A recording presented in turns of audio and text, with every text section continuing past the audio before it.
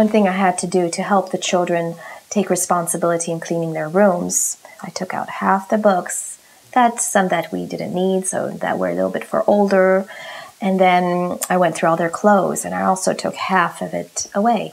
So they learned to handle the little that they had. And then as time went on, as I saw that they were okay in handling those few things, I started putting a little bit more at a time. And same with toys. Toys, I had to take most of the toys away, giving them a few boxes. Like I gave my daughter four different boxes. She had four different toys, and I had to take four or five away just so it was, otherwise, they would get all mixed up and they would get all over the floor, and it was a big job to clean.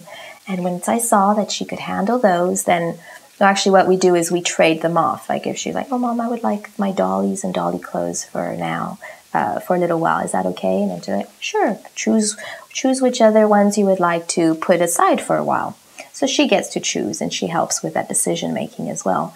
That was the key to helping the kids learn to clean up their rooms. You start small and then they can handle more.